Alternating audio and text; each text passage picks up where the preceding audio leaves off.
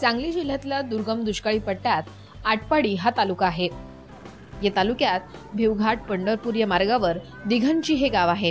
दुष्काळी पट्ट्यातलं गाव असल्यानं इथे पिण्याच्या पाण्यासाठीच मोठा संघर्ष करावा लागतो.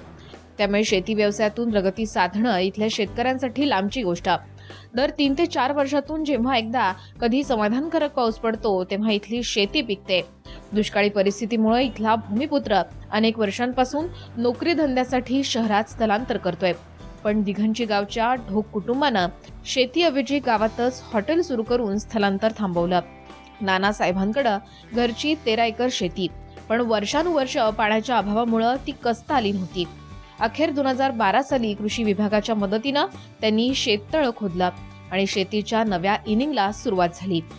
मी पेशाने शेतकरीच होतो परंतु नंतर हळूहळू हॉटेल व्यवसाय चालू केला. हॉटेल व्यवसायानंतर परत हॉटेल व्यवसायामध्ये जेमतेम उत्पन्न निघत असल्यामुळं थोडंसं शेतीकडं लक्ष द्यावं म्हणताना कृषी उत्पन्न सा अधिकाऱ्याशी संपर्क साधून माझ्या पडीक जमिनीमध्ये मी सामुदायिक शेततळे मंजूर करून घेतलं ते शंभर टक्के अनुदानावर आम्हाला त्यांनी दिलं. ढोक कुटुंब उदरनिर्वाहासाठी हॉटेल चालवत होतं. पण त्यात त्यांच्या प्रगतीला मर्यादा येत होत्या म्हणून त्यांनी कृषी खात्याचं मार्गदर्शन घेतलं. एक कूपनलिका खोदून शेतीला सुरुवात केली. मग चौतीस बाय चौतीस मीटर लांबी रुंदीचं आणि बावीस फूट खोलीचं शेततळं दोन हजार अकरा साली खोदलं. तळ खोदल्यानंतर ढोक यांनी शेतीला सुरुवात केली. पण या काळामध्ये त्यांची रत्नागिरीच्या मत्स्य अधिकाऱ्यांशी ओळख झाली. मग आपल्या तळ्यात त्यांनी मत्स्य बीज टाकण्याचा निर्णय घेतला.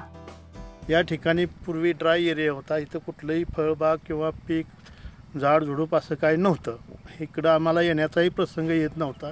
त्या ठिकाणी आता आम्ही शेततळं घेतल्यापासून जवळजवळ पन्नास हजार घन लिटर पाण्याची क्षमता असलेलं शेततळ आहे. आणि ह्या शेततळ्यामध्ये आम्ही दुहेरी व्यवसाय करतो. यामध्ये मत्स्यपालनही केलेलं आहे.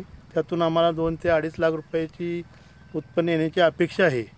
त्याप्रमाणे आत्तापर्यंत आम्ही एक लाख रुपयेपर्यंत मासे विकलेले आहेत. अजून उर्वरित मासे दोन ते अडीच लाख रुपयाचे होतील. शिवाय यातून साठवलेल्या पाण्यातून डाळिंबीचं उत्पन्न आम्ही अडीच ते तीन एकर जो जवळजवळ अकराशे रोपं डाळिंबीची लागवडीस के- केलेली आहेत. आणि ती झाडं आता अजून सा आता आठ महिने झालेत. शेततळ्यामध्ये रोहू कटला जातीचं मास्य बीज यांनी टाकलं.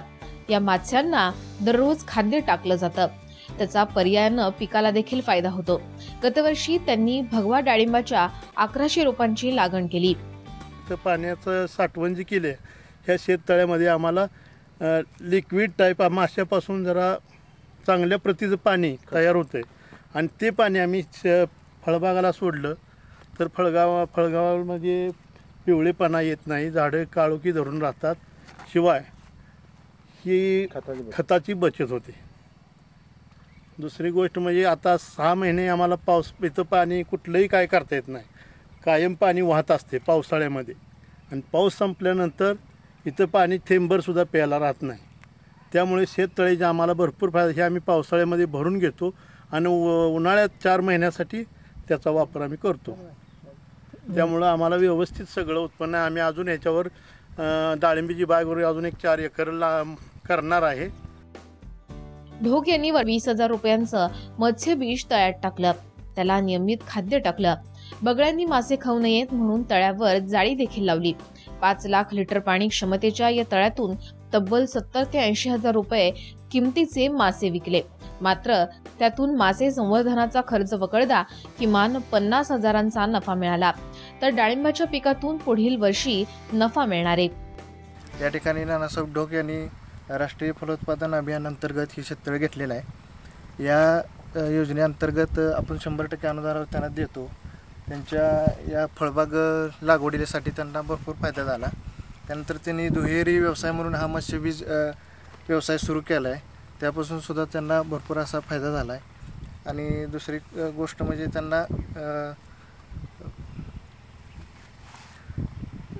दुसरी गोष्ट म्हणजे त्यांना ह्या मत्स्य व्यवसायापासून जवळजवळ आत्तापर्यंत एक लाखपर्यंत असं प्रॉफिट त्यांचं मिळालेलं आहे त्यांना. शेततळ्यात माशांना नियमित खाद्य दिलं जायचं. हे खाद्य तळ्यातून ठिबक मार्गे डाळिंबाला दिलं गेलं. याचा चांगला फायदा पिकाला झालाय. ढोकांची डाळिंब बाग निरोगी आहे. आता ह्याच्यामध्ये हिरवटपणा आलेला आहे पाण्याला ह्या. आणि दुसरं खाद्य टाकलेलं पेंट टाकली याच्यामध्ये खपरी पेंट पुन्हा भाताचं खाद्य. शिवाय खाली तळाशी गाळ तयार होतो त्या गाळाच्या गाळापासून प्रोटीन्स मिळतात. आणि ते प्रोटीन्स आम्ही ठिबकद्वारे झाडाला देतो. त्यामुळं अतिशय चांगला प्लॉट आलेला आहे. आणि रोगाचं प्रमाण सगळ्यात कमी. आहे या कायम दुष्काळी भागामध्ये नानासाहेब ढोकांनी शेततळ्याच्या माध्यमातून मोठी प्रगती साधली आहे. पावसाळ्यात शेततळ भरून त्याच्या भरोशावर वर्षभर बागायती फळं पिकं घेण्याचा ढोक कुटुंबाचा प्रयत्न दुष्काळी भागातल्या शेतकऱ्यांना मोठी प्रेरणा देऊन जातो. एकूण त्यांचं क्षेत्र आता या ठिकाणी पू- पूर्वी जर आपण पाहिलं तर या ठिकाणी पूर्ण असा ड्राय एरिया होता. आणि या शेततळ्याच्या माध्यमातून त्यांनी आपली ही डाळिंबाची अं, फळबाग अशी फुलवलेली आहे. अं, सतत अं, कृषी विभागाशी संपर्क असल्यामुळे अं, त्यांच्या आमचे कृषी सहाय्यक अं, सुपरवायझर मंडल कृषी अधिकारी त्याचप्रमाणे आमचे माननीय उपविभागीय कृषी अधिकारी कांबळे साहेब यांचं त्यांना मार्गदर्शन सतत लाभत अं, असतं. अजूनही आहे. अशा पद्धतीने त्यांनी या योजनेचा अत्यंत चांगल्या पद्धतीने उपयोग केलेला आहे. ढोक यांनी कृषी विभागाच्या शंभर टक्के अनुदानावर तळ खोदलं. त्यामुळे आज डाळिंब लागवडीचा एकरी चाळीस ते पन्नास हजारांचा खर्च त्यांना आलाय. या व्यतिरिक्त मत्स्य शेतीतून वार्षिक किमान पन्नास हजार रुपये त्यांना मिळणार आहेत. शेतीसाठी पाणी पाण्यासाठी शेततळ आणि शेततळ्यामध्ये मत्स्य उद्योग अशा प्रकारे दुष्काळी भागामध्ये एक नवा पायंडा नाना ढोकांनी पाडलाय. त्यांच्या मार्गावर सांगली सातारा आणि सोलापूरच्या या दुष्काळी पट्ट्यातल्या शेतकऱ्यांनी मार्गक्रमण केलं तर दुष्काळाची वाट सुकाळाकडं जायला नक्कीच फायदेशीर ठरेल. Vijay पाटीलसह bureau report Saam TV Dighanchi Sangli.